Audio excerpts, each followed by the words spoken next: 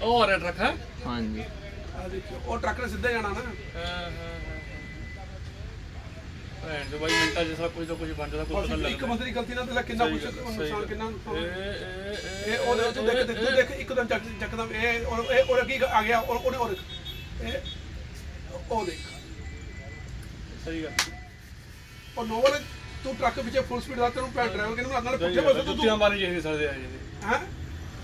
ਭੈਣ ਚ ਉਹਦੀ ਵਜ੍ਹਾ ਨਾਲ ਕਿੰਨਾ ਨੁਕਸਾਨ ਹੋ ਗਿਆ ਸਾਰਾ? ਜੇ ਇਹ ਟਰੱਕ ਵਾਲੇ